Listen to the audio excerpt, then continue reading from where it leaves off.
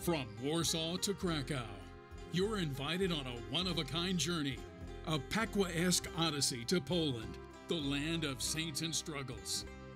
This is also an important lesson for the rest of us to know where we come from, how we are formed, and where we are going, the destination that God gives to us.